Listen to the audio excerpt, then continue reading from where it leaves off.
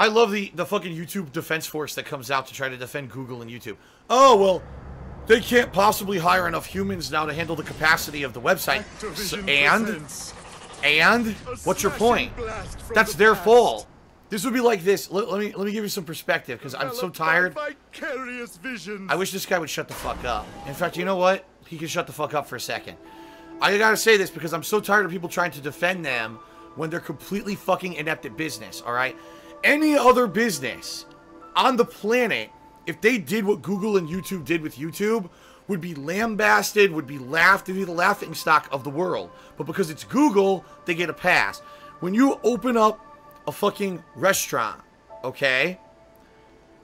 I opened up a restaurant. Oh, but I only hired, hired a skeleton fucking crew of people who don't know much about anything. They don't know anything about health health code or laws. They don't know anything about you know how to properly make the food and make sure that it's that it's safe for the people who come to my restaurant and eat it. We don't do any of that due diligence whatsoever. We just open the restaurant and the restaurant becomes incredibly popular, okay? Now, after the fact, because the restaurant's incredibly popular, we find out that all these things are fucked up. They're not adhering to health codes, they're not doing all that. Do we just give the restaurant a pass because they say, oh, because they're incredibly popular and they have such high uh, amount of people and customers coming in, we couldn't possibly expect them to hire enough staff and enough health code people knowledgeable about the situation to come in and actually run the site legally. We can't expect that from them. No, the restaurant would be closed. But YouTube comes in, oh, we're going to have a website that just unlimited hosts whatever kind of content anyone uploads to it. No checks and balances, no legality to it, no proper copyright checks or system. Just the wild west of the internet. Everyone just come and upload whatever the fuck you want. Years later, oh my god, now it's hyper hyper popular, and now there's no way we could possibly have enough staff to check the amount of videos that come in on a daily basis. So just give them a pass. No, any other business would be shut down and say, get your shit straight because you're violating tons of laws, you're doing it wrong, and therefore you need to hire enough intelligent staff and people to run your, your business properly. We're not going to just give you a fucking pass. For some reason, Google and YouTube get a pass, but any other business that does stuff wrong, they all get fucking violations and fucking fees and shit up the ass, but not Google. I just don't understand that.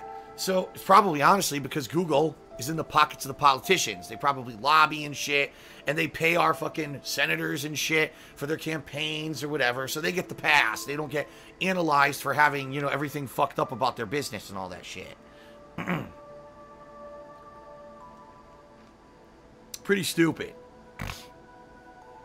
Pretty fucking stupid. Alright. So enough about giving them a fucking pass. I'm so tired of that shit. Yeah, if you have if you have no business sense in your fucking head, oh, they couldn't possibly hire enough staff to review all those videos.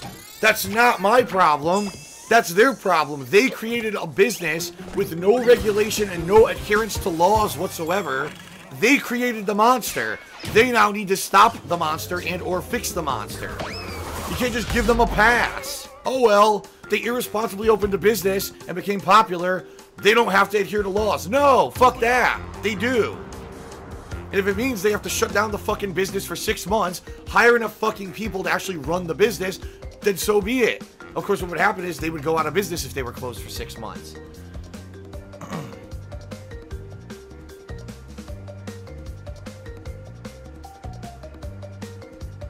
Alright, here come the trolls.